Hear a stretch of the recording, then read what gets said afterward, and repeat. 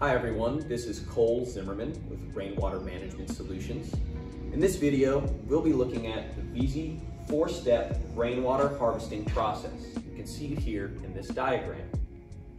This is a step-by-step -step design approach with four primary design principles that can be applied to ensure the cleanest possible water inside your tank.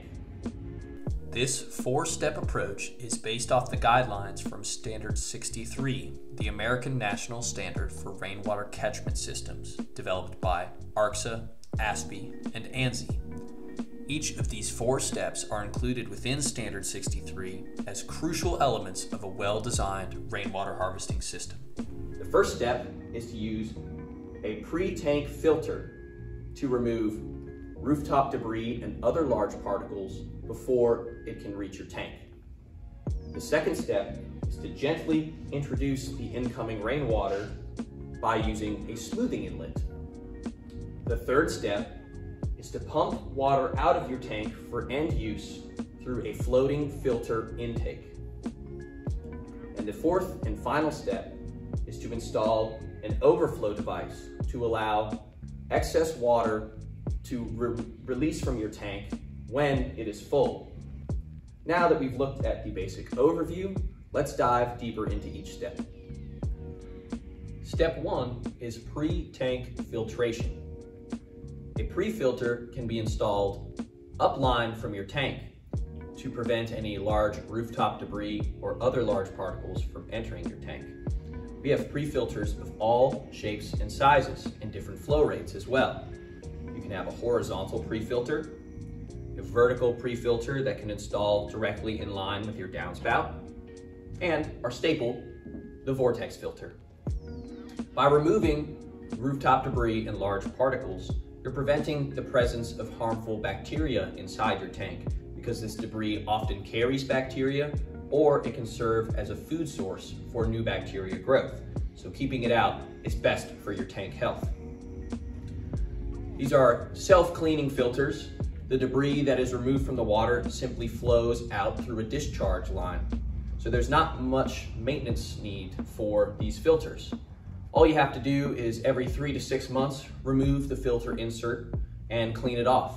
They're stainless steel, so you can run it through your dishwasher or simply give it a scrub with some dish soap and a brush.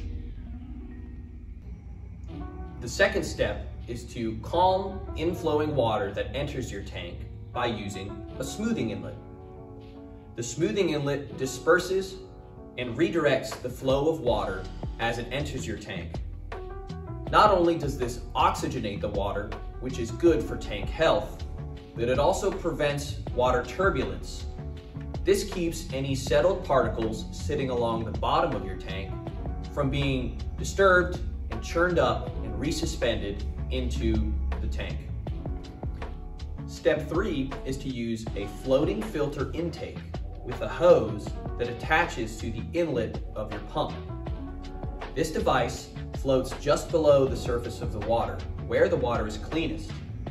That way, you are pumping the fewest particle contaminants possible because you're drawing from the cleanest section of the tank.